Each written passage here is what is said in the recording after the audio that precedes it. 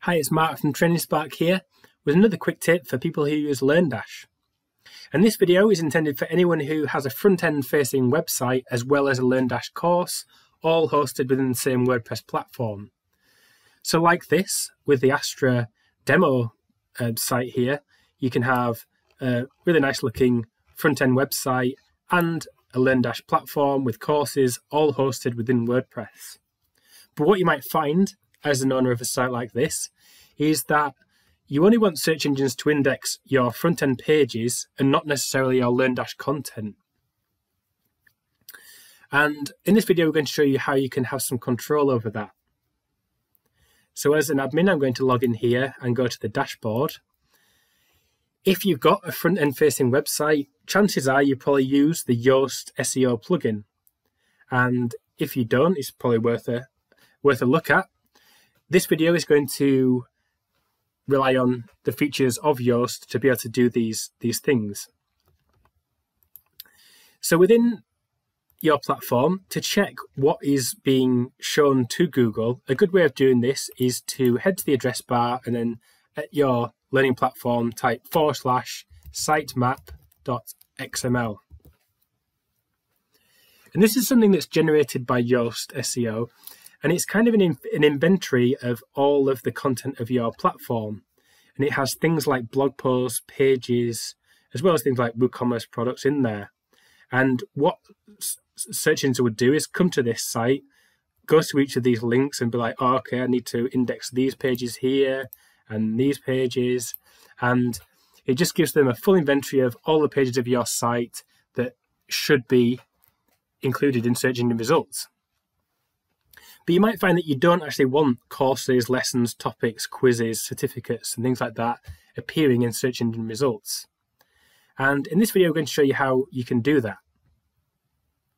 So we're going to go back to the WordPress dashboard here.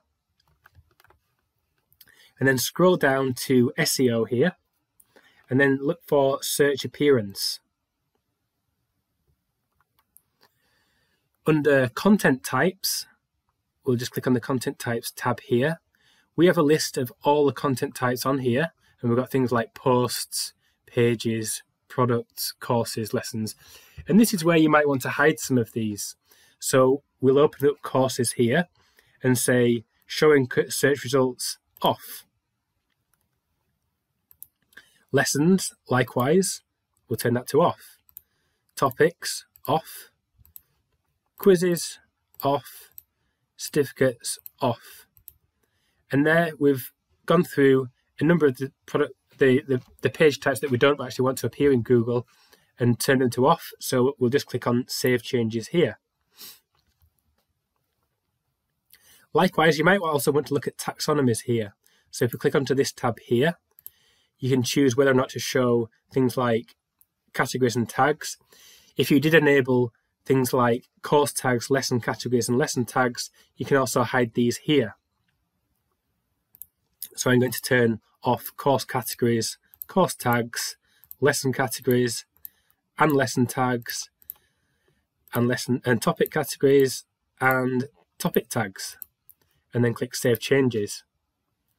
So what we've now said is that we don't want search engines to start indexing all of that, all of those types of pages.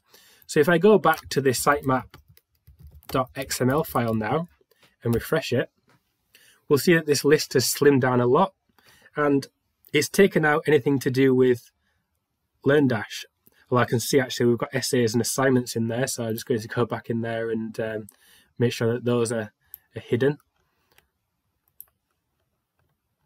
Submitted essays off, assignments off and I'll click Save Changes and then go back to sitemap.xml and we'll slim that down even more.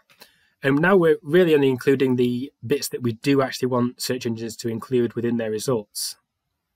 So we hope this find, you find this useful and a good way of isolating which bits of content you want to appear in search engines.